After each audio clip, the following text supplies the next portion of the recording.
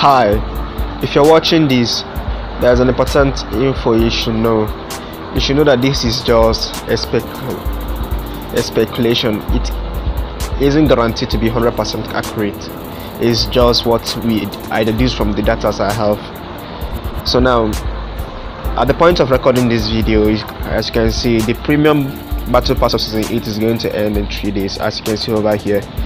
So with regard with when the season 9 is going to be released i think we should be expecting the new battle pass to be released in three days from now which is going to be um, should be either thursday should be thursday or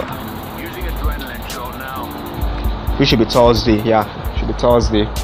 So but uh, there's no really uh, definite proof that it's going to be because even the developers have mentioned that they don't have really uh, an accurate date that they'll be releasing this uh, this season 9 because they can either decide to either withhold releasing the update or continue or go, or go further with releasing it. And if you go to our event section our events were supposed to have ended last week but we can see that it has been increased. The time has been increased to four days nine hours at the point of recording this video. So which means to say that the season nine the season nine the highest based on my speculation could be released on friday evening highest.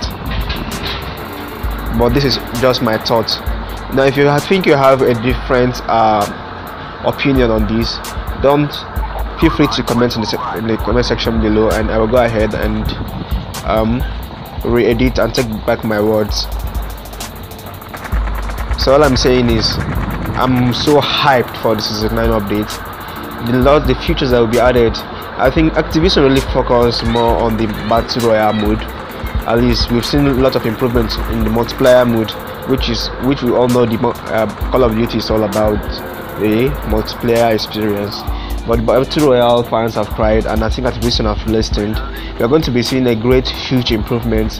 New weapons are going to be added, new characters, and also the maps. We're going to be having additional maps, and also um, when parachuting, you're going to be seeing the names of every area in the map written in bold. I think that's a great add to the game.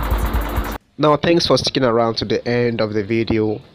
And if you haven't already, please go ahead and subscribe to my channel and the next on the list on the updates of the season 9 is going to be about now stick around and find out from my channel. And also i'm going to be talking about the hardware requirements of the season 9 you are now leaving the shores of Pinus game space. Thanks for tuning in. Please like and comment. And if you haven't already please subscribe to my channel and hit the bell icon so we can grow together while setting trends with every new update